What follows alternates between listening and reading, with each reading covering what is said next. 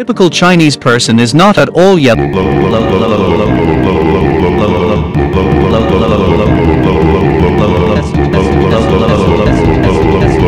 Face. The typical Chinese person is not at all yellow.